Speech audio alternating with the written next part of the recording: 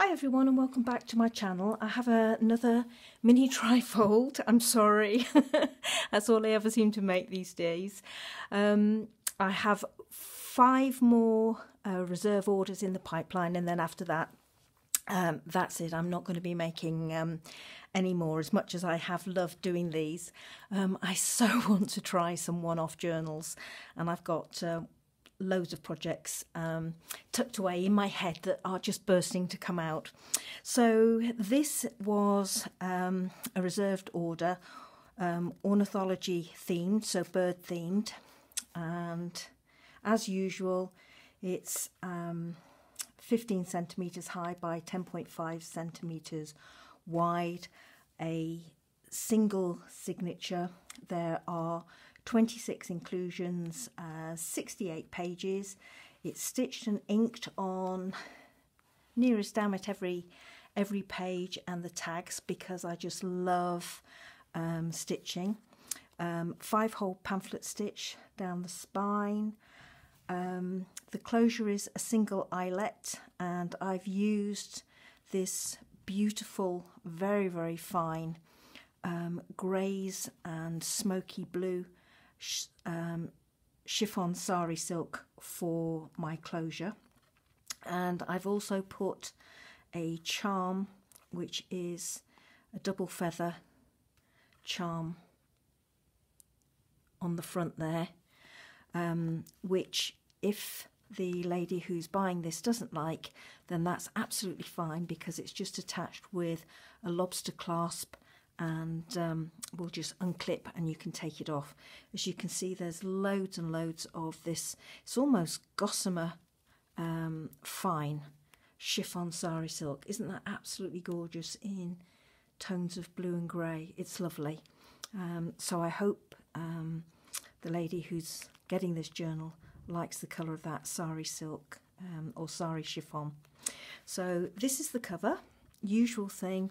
Um, collaged with vintage papers, a couple of fussy cut images, and if I just move that out of the way, you can see that is the image there. So another chunky monkey, I'm afraid. Um, she's a little bit stiff at the moment because there's quite a few um, layers of um, gesso, not gesso, sorry, um, Ranger Multimatte Medium. So some fussy cutting and collaging at the front here.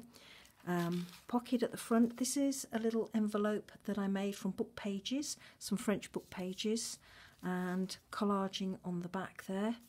There's a vintage button there, mother of pearl button, a tiny little feather charm, and then when you go in, some lace trim, and I've just put um, some stamps in some glassine envelopes. So there's, uh, I think there's five in five stamps in each that you might be able to to use in your journals.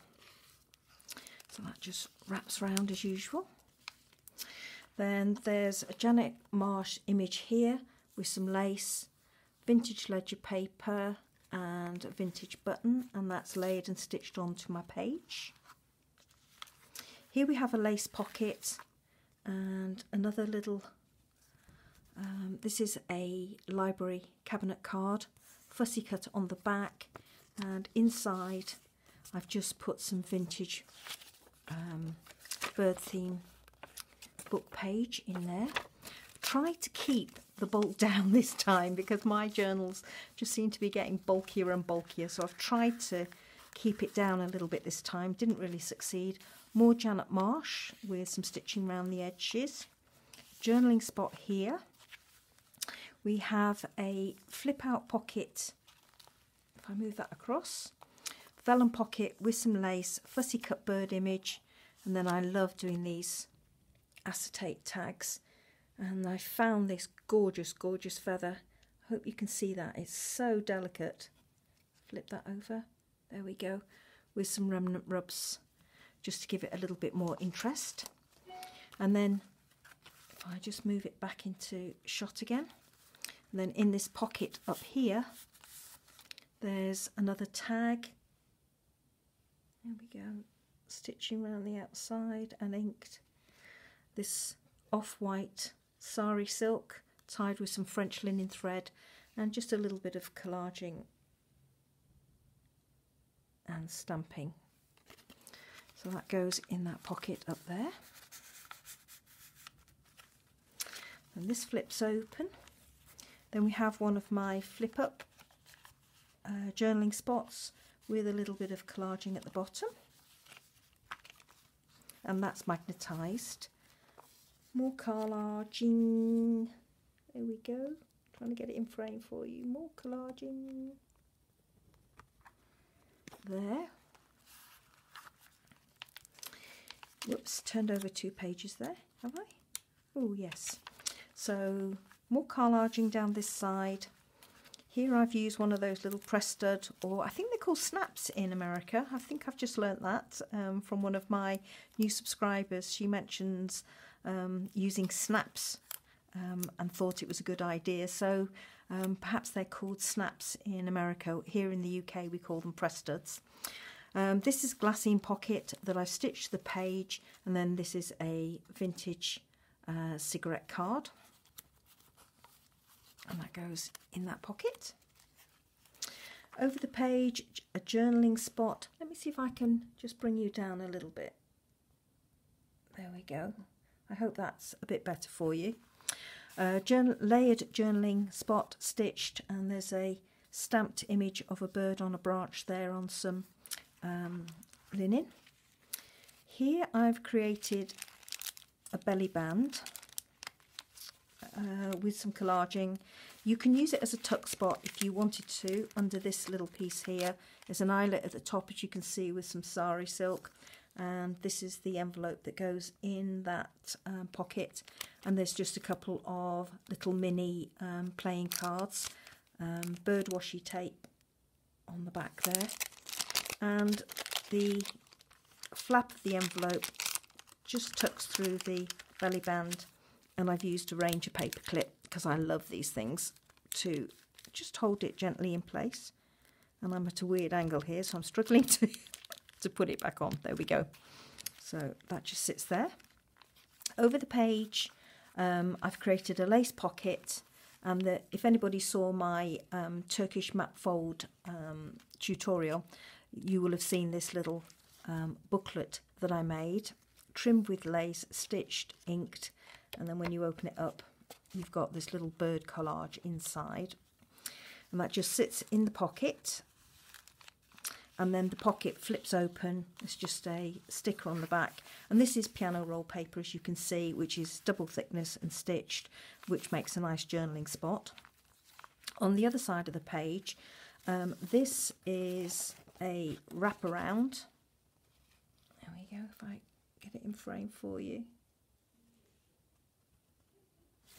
That's one side, and that's the other side. I love these bird images, and a little bit of collaging there. And as I say, that just wraps round this page. This is one of those um, boot shoe and clog repair receipts of mine. When you turn over the page, there is a vintage receipt um, dating to 9th of April 1929. Put a little stamp on it and you have a, a journaling spot there. So I'm just going to pop this back on my page, like so. Um, vintage tea card that I've stitched, um, collaged underneath, bit of lace and a number then some lace at the top there. And this is a journaling spot. So I've put or a little notebook. There's some collaging with a vintage stamp underneath there. This is some photo paper. And then here I've done a little um, hidey hole. This just opens up and inside there's a couple of vellum pockets and this is a vintage um, Kodak slide. So that just goes in the pocket there. And then this ties ties up again.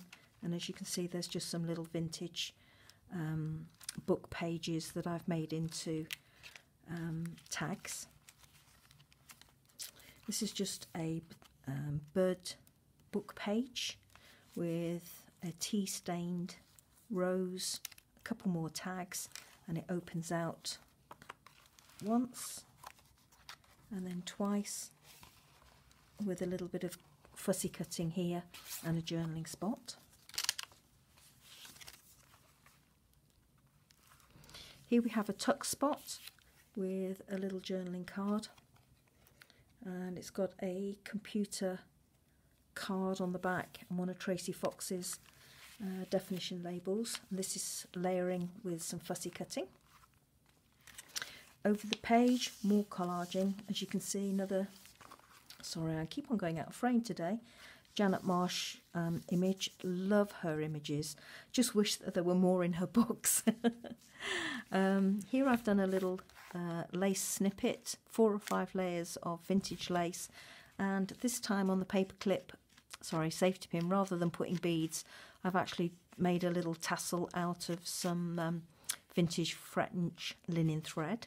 So that opens out. You have a glassine bag here with some collaging, some eyelash trim, lace, sari silk, um, a French uh, little flashcard, and this is my journaling card, just plain on the back of this one. That goes in there.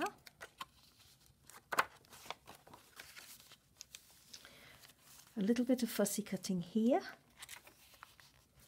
More collaging in both top and corner. Um, I'm thinking that's Edith Holden, but I'm telling a lie. It isn't. It's more Janet Marsh. That's the bird nest image in her um, her book, which is absolutely lovely. And that's the other part of it. I've used it to marry the two pages in together. Here we have a little glassine um, pocket that I've collaged with some lace, fussy cutting, a little rose, and it's actually got a feather inside. I think you can probably just see the tiny little feather inside, and it opens up, more collaging behind it, and you can actually get into the envelope there or the pocket there to take out the feather if you wish. Some Ranger Vellum this is a journaling card and I've just stamped on the back. And this is a side tuck spot so you could put your card behind there if you wanted to or just as I've done used a paper clip another one of these gorgeous ranger ones to just hold it in place if you prefer. And I think I no I haven't um, I've created a tuck spot up here. Let me show you. There we go. Little tuck spot up in there. Um, this is uh, a pocket, side pocket.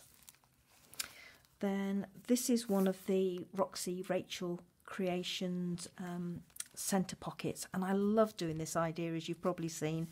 Um, the only addition or difference is that I like to put vellum across the bottom because I thought this was such a lovely image. I didn't want to cover it up. But there's a tag in this pocket. These are all simple, very simple tags. Computer card on the back. And then this is a page out of that 1910 Mrs. Beeton's Good Housekeeping um, book that I have. And this is luncheon um, household dinners. Um, I think that's 1901. So that's an example of a uh, luncheon, household luncheon dinner menu for 1901. There's another tag in this pocket. Beautiful images these, aren't they? And this is just some um, monochrome collaging on the back. Over the page, it's just a flip out journaling spot. Another little tuck spot there with some French flashcards. This is Painter's masking paper. More collaging here. Love this little tiny image if I can get it on screen. Just very delicate. It's not really focusing. Sorry about that. Um, but love it. Another one of the tea cards that I've stitched to the page. Another one here to hide this stitching from this one. Both of them have been stitched onto the page and then I've done a tiny little tag to go inside behind this owl tea card. This is um, a Sizzix or Ranger die cut. That just flips open and then there's some book pages here and a little journaling spot behind. This is the other part of that um, Janet Marsh bird nest picture and I've just put a, a fussy cut of a bird on the top. Here is one of the lace clusters that I like to do, lace and raw sari silk with a vintage mother of pearl button. This pulls out like so and you've got a bird image in there and some bird information there. Oh, the tags come out. This actually opens up like so, but tucked away in here, and it's just pulled off the page, is this observer book of birds, book page, journaling spot, if you will. And I've done an eyelet at the top with some lace. It's layered up on the back, and there's a little tiny pocket there with another tea card in and that just goes on. Where's my paper clip? Just goes on there. Here we have another lace pocket with another journaling card with some more collaging on the back. And up in the corner I've just done a lace tab with some um, vintage ledger paper. Fussy cutting down here. This is a book page flip out for a journaling spot. More lace and collaging there and here. And then here, this is a pocket that's got another card inside with some more monochrome collaging. And that fits inside that pocket. And then this opens out and you've got more book pages and more journaling spot there. So it closes one and then two and a bit of vintage lace trim on the edge of it. And more book page, more of that photo paper. A big journaling page here and this is this is a little envelope that I've attached to the page and I've not decorated it at all because it's not really in keeping with the journal but I absolutely loved it. And look at this. I found it in a stationery shop the other day and it's a couple of little blue tits but I don't know if you can see. Let me show you. Can you see they've got like little fluffy bits of tiny bits of fluff for their chests? If I can just maybe turn it slightly can you? Mm, camera's not really picking it up. But they're like little tiny pom-poms and I just thought it was so cute. Um, as I say, it's not in keeping with the journal, but I just thought it was so cute that I wanted to include it in. So the lady that's buying this journal, you know, you can leave it in or you can take it out as, as you wish. I just thought it was uh, cute. Shall I say that again? It's cute. and I just wanted to include it in. So this is a gorgeous, gorgeous image from one of my books. I fussy cutted it out and popped it on the page because I thought it looked lovely. Oh, I love doing these pockets. Um, lace at the top, and then this is French ledger paper. Um, coming to the end of it now, I've used so much of it. And then observer book page at the back to create the pocket. And then in tucked into the pocket is this Janet Marsh image.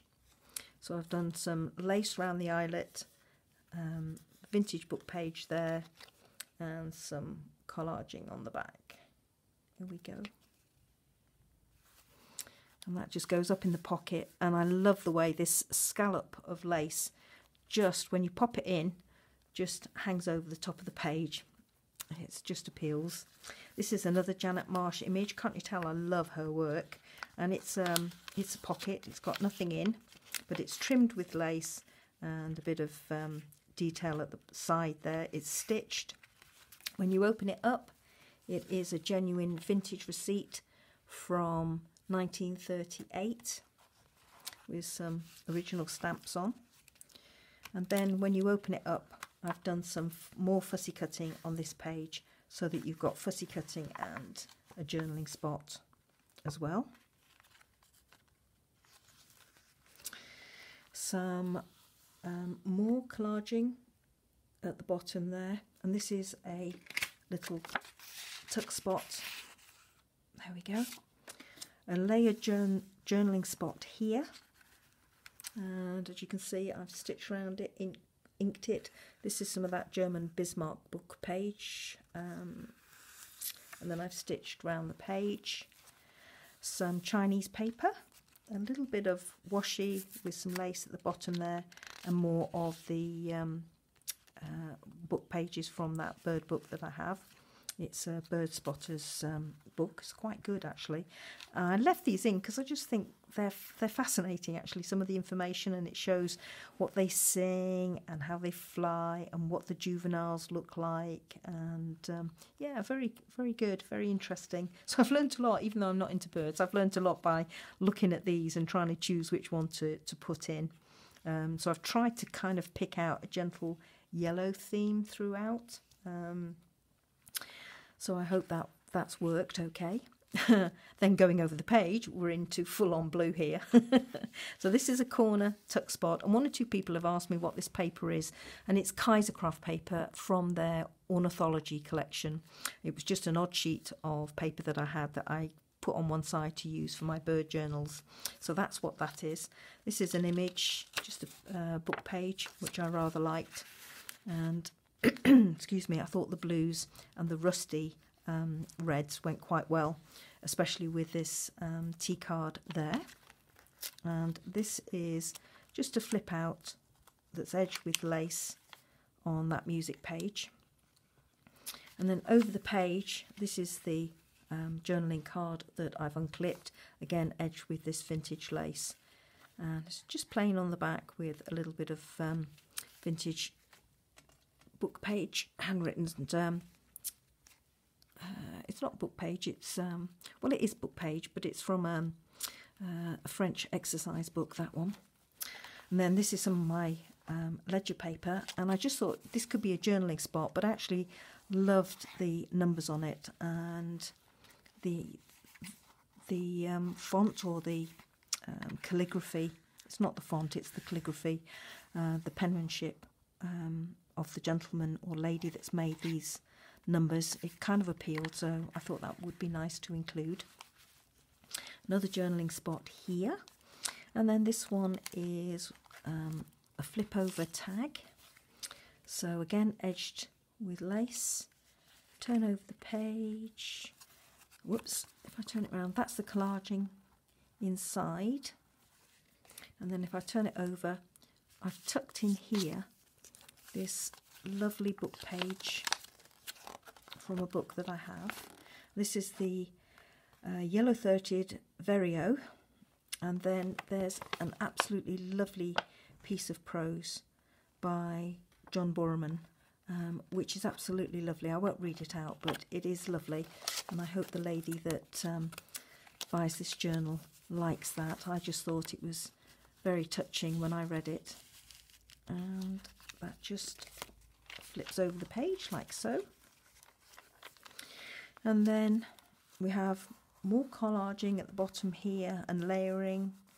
Um, there's a definition there for the word buzzard. There's some um, German bookend, uh, chapter end pieces there. Some French ledger paper. This is um, an observer book of birds and you've seen these tags everybody does them. And some collaging on the back there. And a tiny tiny little where are we? Silver bird charm on there. And that actually does flip through to the front. I don't know why it's worked its way around to the back. There we go. It's on the front. That goes in the back pocket. And then whoops that's coming off um, anybody that saw my tutorial on envelopes the other day will have seen this this one that I made. And it opens up. There is a tuck spot in there and a pocket inside. And I've put four or five of these three, four of these vintage um, cigarette cards inside there for the lady that's getting this journal. So I hope you like the journal. I hope you don't mind yet another flip through. Um, as I say, I've got a few more still in the pipeline to do. Um, but after that, um, that will be it, I'm afraid. Um, I'll get on to doing some single um, uh, single one-off journals. So if I just wrap that up very, very quickly with this. I mean, there's loads of this um, chiffon, so um, it's it would be easy to chop it down if you didn't want um, so much of a wraparound. Okay, everyone, that's my uh, latest journal. Um, I hope you like her, and um, thank you so much for bearing with me yet again as I babble my way through these videos. Love you all. Take care. Bye bye.